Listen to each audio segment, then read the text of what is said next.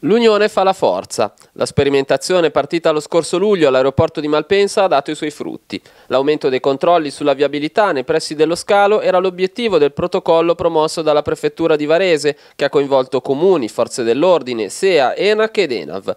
La polizia locale di Ferno ha ricevuto il supporto dei colleghi di Varese, Bustorsizio e Gallarate, riuscendo a porre un freno ai problemi della viabilità selvaggia e delle lunghe code che si creano in particolare in tarda serata e al mattino presto, quando si concentrano rispettivamente i voli low cost e gli intercontinentali. Sicuramente è migliorato molto sia dal punto di vista viabilistico che dal punto di vista interno dell'aeroporto, in quanto noi abbiamo gestito, oltre che la parte eh, sanzionatoria e viabilistica, anche abbiamo mantenuto dei rapporti all'interno dell'aeroporto, sicuramente migliorata ringraziando anche le altre forze dell'ordine e delle altre polizie locali che ci hanno aiutato e siamo molto soddisfatti per eh, i risultati ottenuti. Il buon esito dell'attività di questi mesi ha visto tutti i protagonisti da d'accordo nella decisione di proseguire con il percorso intrapreso.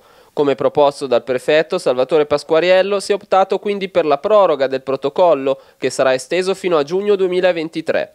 Le parti hanno siglato un impegno a continuare nella collaborazione in vista della firma ufficiale che si terrà dopo le feste. 2023 vediamo il traffico aereo ancora in crescita. Eh, di fatto stiamo pensando appunto di riaprire anche il Terminal 2, lo faremo sicuramente l'estate prossima, eh, questo contribuirà a alleggerire un po' la viabilità intorno al Terminal 1 che però già di per sé eh, prevederà il ritorno anche di eh, aeromobili lungo raggio e quindi riparte anche la parte più intercontinentale diciamo e, e questo dovrà comunque essere gestito e assistito in termini di viabilità tanto quanto lo è stato nel, nell'anno scorso.